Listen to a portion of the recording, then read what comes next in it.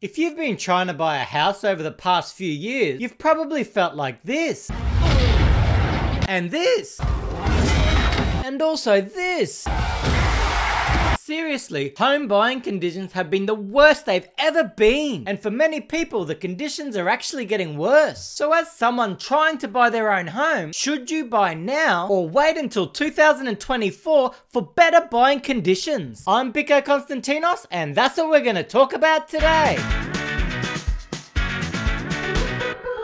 Hey, if you own a home or would like to own a home, why don't you give this video a like and consider subscribing to my channel. I'll provide you with independent analysis and commentary regarding the real estate market, the stock market, and all the big stuff that could affect your lives. So when's the best time to buy a house? Now, some of you might have heard my intro and thought, it's not about this year or next, I can't even afford a house. And I totally get it. More and more people are in the situation when they can't even afford their own home, and this is actually tragic, especially when they're doing everything they can, working hard, trying to save a deposit, but still have no chance of acquiring their own home. So how have we gotten to this position? Well, for many years now, house prices have outgrown wages. This makes it a lot harder for people buying a house now compared to say 30 or 40 years ago. As an example, 30 years ago, a house might have been three times the average wage. So if the average wage was 20,000, you would have been able to buy an average type home for around 60,000. But houses are so much more expensive today. Now in in countries like Canada, Australia, and New Zealand, the average home is closer to 10 times the average yearly wage. And that is why houses are so expensive and why buying conditions are completely different to when our parents and grandparents bought a home. In most cases, it is now much harder to buy a home with a two income couple than it was 30 or 40 years ago with only a one income couple. Now let that sink in for a moment. In previous generations, only one member of the couple had to work and still found found it easier to buy a home and pay off a home. Is that a kick in the guts or what? So less work stress with two people not having to both work, but also less financial stress because you had your own home, you couldn't get kicked out or have your rent skyrocket like the current situation for many people, and you basically just had to keep a job to pay off the entire home fairly quickly. And after that, invest in more property or the stock market, which both saw unbelievable multi-decade growth. But all those good times for so many years could come at a price. And that price is coming due now as people struggle to buy a home. So house prices were already super expensive when COVID hit. And then we saw every government and central bank do the same thing, which is to pump billions and trillions into their economy and drop interest rates all the way to zero, which put a rocket under house prices and made them even more expensive. And it also created the most speculative, crazy housing market we've ever witnessed. So if you were trying to buy a home during the COVID boom period, you would have been trying to buy in the most fear of missing out type conditions we've ever seen, where houses were getting multiple bids, selling straight away, having offers way above their list price, and all that frenzied craziness. So then what happened? We saw a global inflation crisis. So every country has been raising interest rates aggressively to curb these record inflation levels. So first, home buyers had to contend with ultra expensive house prices, but now on top of that, they have the added difficulty of surging interest rates. And as interest rates have surged, borrowing capacity has significantly declined. In many places, the amount that the banks will lend you to buy a house has reduced by about 30%. So when interest rates were at zero, the banks might have lent you 500,000, but now those same banks may only lend you 350,000. And that's a massive reduction. And guess what? House prices at this stage haven't come down 30%. So it's even managed to get harder to buy a home. And you wouldn't believe it, people trying to buy a home are now getting hit by something else, a rental crisis. Around the globe, we're seeing a shortage of rental properties, which is driving the prices up to ridiculous levels. So it's not enough that you can't afford your own home, you now have all the insecurities coming with the rental crisis. And by having to pay much higher rent means it's way more difficult to save for a home deposit, especially when costs of living are surging as well. And you also have to realize that renters didn't get any benefit from the post-COVID housing boom that governments and central banks created. They're not able to access generous taxation deductions like property owners can. So they're forced to pay taxes on any sort of savings or investments when they're trying to buy their own home. No matter what your situation, you have to feel for renters over the past few years. Okay, so I've painted a very dismal picture for the current situation that home buyers are facing. For all the years I've been alive, I've never seen it this bad. And it's not just statistics. Many lives are being really affected.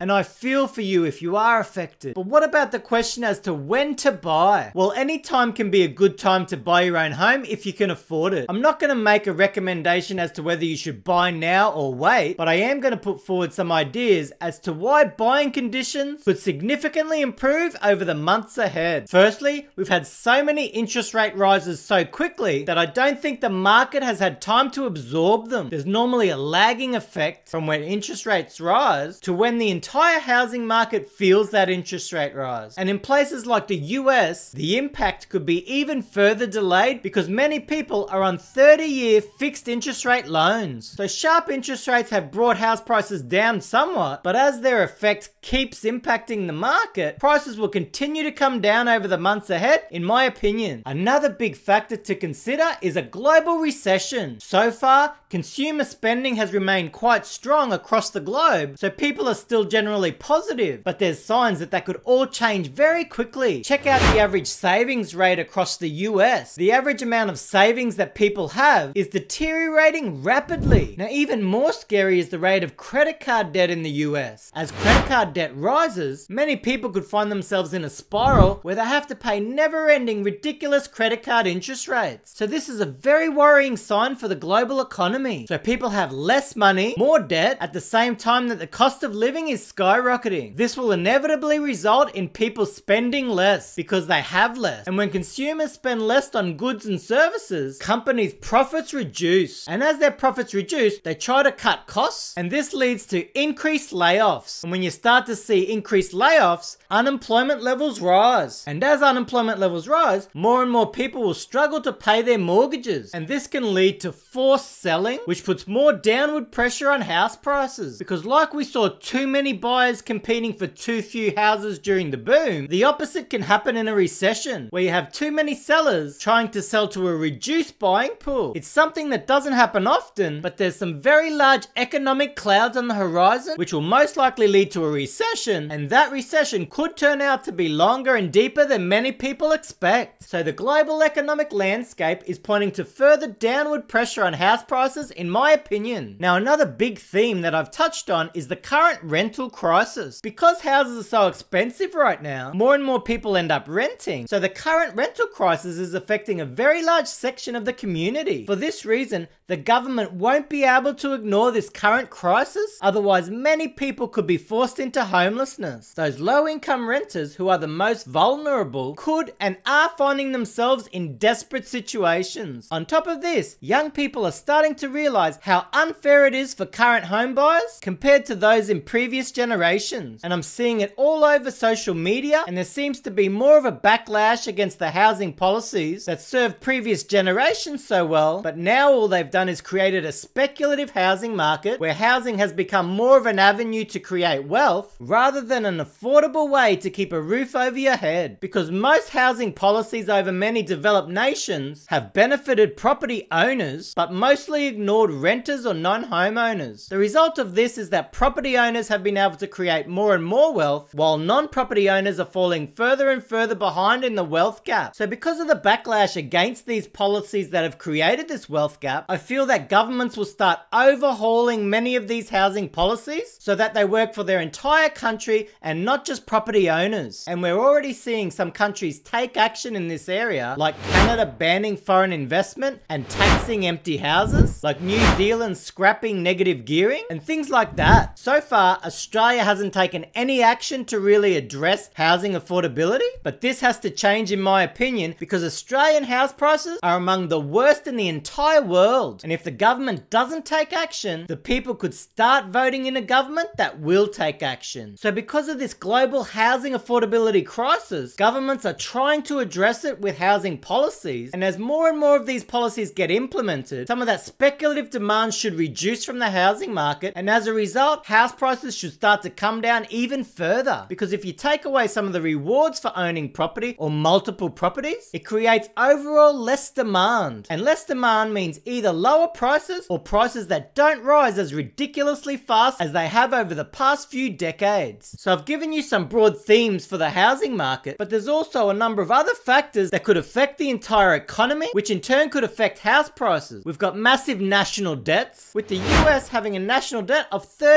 $31.5 trillion. And just the interest payments alone on that debt is hard to fathom. We've got high inflation that could remain high for several years. We've got multiple geopolitical risks with the current war between Russia and Ukraine, but also other risks that could eventuate. And lastly, most developed countries are seeing real population decline, which means the birth rate isn't matching the death rate, and populations are only growing because of immigration. So with the birth rate falling off a cliff in the years ahead, many countries could see population decline, which will mean less properties required for the entire population. And that's another thing that could reduce demand for property. Just look at what's happened in Japan because their birth rates are ultra low and they don't have any immigration. Now this won't affect most countries immediately, but could start to affect over the decades ahead. So overall, I feel like there's more chance that house prices continue to decline over 2023, which should mean that there would be better buying opportunities in 2024. But that's not a guarantee. Like we've seen over the last few years, anything can happen. So if you are looking to buy a house, I feel for you because of all the difficulties being thrown at you, but I wish you all the very best and hope you realize your goal. I'm Biko Konstantinos.